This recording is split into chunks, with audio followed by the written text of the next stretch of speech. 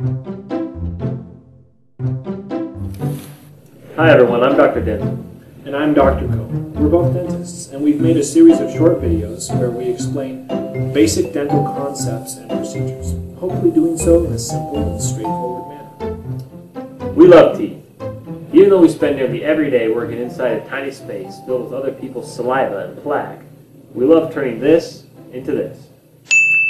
Through browsing the internet, I seem to always stumble upon videos and ads with names like Dentists hate this video and learn this simple trick dentists don't want you to know. And of course I'm intrigued. I want to know what it is that I hate so much.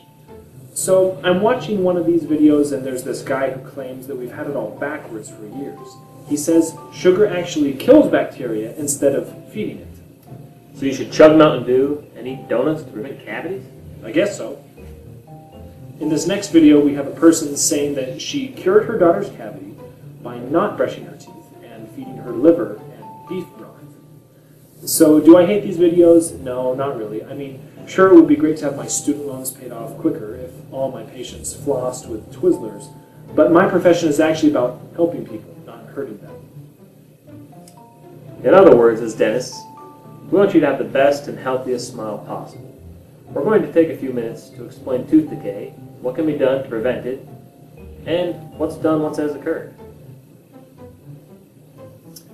This is a tooth. It's kept alive by the pulp which contains the nerve. This structure is protected by two layers, dentin and enamel. If these protective layers are compromised by either a cavity or accidentally chipping it, bacteria can enter and eventually kill the nerve. Getting a cavity is all about the acids in your mouth. Enamel is worn away by acids. For example, if you have gastric reflux or throw up a lot, enamel gets worn away by stomach acid.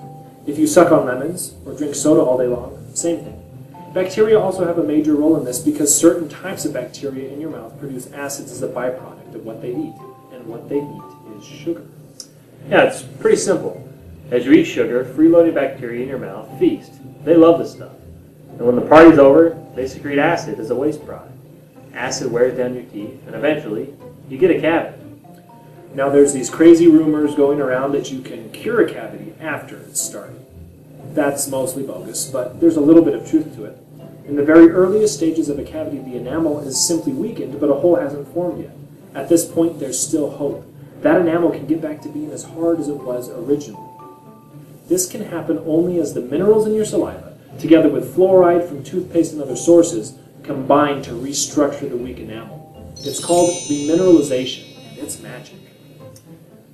Yeah, remember this only works if the cavity is so small that there isn't a hole yet. And of course, you need to be awesome at brushing and flossing while avoiding the super acidic drinks and too much sugar.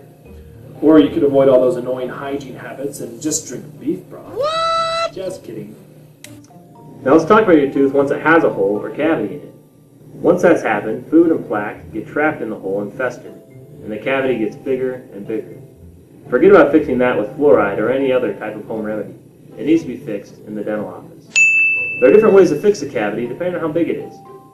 For the small stuff, we use either silver or tooth-colored fillings. If most of the tooth is broken off or decayed, we might use a crown, also known as a cap, which covers and protects the entire tooth. If the cavity is so deep it reaches the nerve, then you're going to need a root canal. If you want to learn more about these procedures individually, we've made several short videos to explain them. Ben Franklin once said an ounce of prevention is worth a pound of cure, and that can apply to dentistry. So avoid the really sugary and acidic foods and drinks. Floss for goodness sakes. Brush at least twice a day using the correct end of the toothbrush. And of course, stop by and see us every six months. We've got plenty of three-year-old magazines for you to read, and if you're extra good, you might just get a prize from the treasure chest when you're done. Thanks for watching.